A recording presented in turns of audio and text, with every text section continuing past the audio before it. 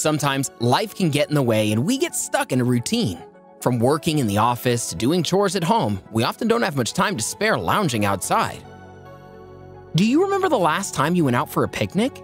It's been a long time, hasn't it? Going out on a bright, sunny day is more than just fun. It's also a great way to get vitamin D. Vitamin D is quite different from other essential vitamins because it's synthesized in the skin after being exposed to sunlight, which is why it's also dubbed the sunshine vitamin. Most of you love the warmth of the sun's rays, but not all of us can enjoy its benefits. To my surprise, around 50% of the global population is affected by vitamin D deficiency. The reason? They hardly get any sun exposure. But what makes vitamin D so important? And how do we know if we're running low on this essential vitamin? Is there any alternative to sunlight exposure for vitamin D? Today's video will cover all of this and much more, so stick around. Let's get down to it. Why do we need vitamin D? First off, it aids in bone metabolism. The person who introduced me to the idea that calcium promotes bone health forgot to add vitamin D's role.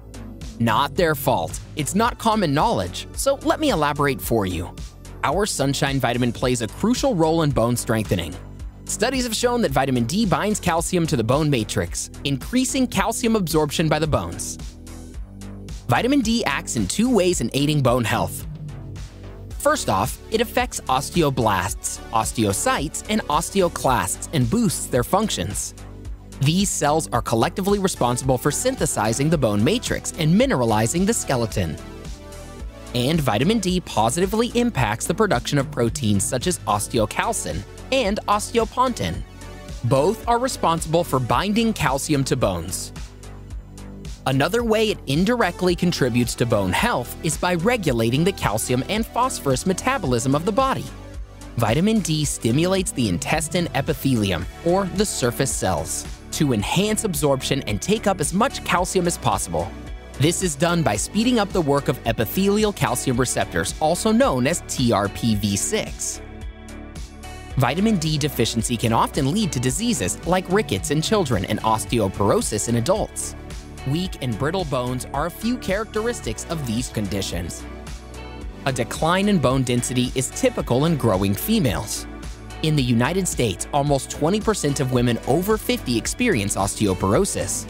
And studies have established direct links between low mineral density in menopausal and postmenopausal women with low vitamin D levels. Another study focused on adults above 65 years of age and stated that vitamin D supplementation and calcium intake successfully increased bone density in both men and women. If you're a fitness enthusiast like me and love to participate in sports, then it's understood that you're much more prone to injuries and fractures. But guess what? Vitamin D can be your savior. Research has shown that increasing vitamin D intake can be an excellent way to protect bone mass and reduce your fracture risk. Were you looking to boost your immunity health and fight diseases? Your body has mechanisms to fight infection-causing microorganisms through the immune system. So, your innate immune system is the first line of defense against invading pathogens.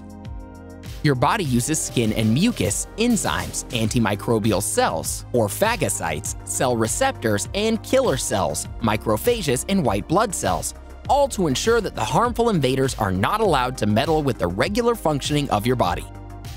Studies have shown that vitamin D boosts immune health by strengthening your immune system's natural responses. Vitamin D stimulates macrophages, a type of white blood cell that kills invading bacteria, cleans up the mess, and removes its dead cells, and simultaneously triggers the actions of other immune cells. But sometimes this defense system backfires and falters, and you'll have difficulty differentiating between foreign cells and those indigenous to your body. This utter confusion is what we call autoimmune malfunction. Your immune system kills some of its own cells and causes disruptions in your body's regular functions and processes, eventually leading to the development of diseases. One self-made disorder that can result is multiple sclerosis a condition in which your immune system eats away at the outer covering of your nerve cells and damages them. This nerve damage causes severe disruptions in the brain-body communication channels. Your brain can no longer pass vital information to the rest of the organs of your body in a smooth manner, and vitamin D deficiency only adds to the issues. Studies have shown that having low vitamin D levels can actually increase the risk of developing multiple sclerosis. One of the unique properties of vitamin D is that it can be a natural mood lifter. It can help you manage anxiety and depression. Studies have shown a positive impact of vitamin D supplementation in those with negative thoughts and emotions and depressive tendencies. Research has also proved that increasing your vitamin D intake can help speed up weight loss. Obesity is a common health issue and leading cause of many life-threatening diseases like cardiovascular problems, cancers, and diabetes. It's prevalent within more than 40% of the population in the United States. Evidence also suggests that lower vitamin D levels are associated with an increased risk of cardiovascular diseases, including hypertension, coronary artery disease, ischemic heart disease, heart failure, stroke, and type 2 diabetes. Now that we know the benefits, let's move on to the warning signs of vitamin D deficiency nutrient deficiencies can be hard to identify. Some people won't notice a deficiency until the symptoms worsen. But if you act quickly and identify the subtle signs that your body keeps sending you, you'll save yourself from regular hospital visits.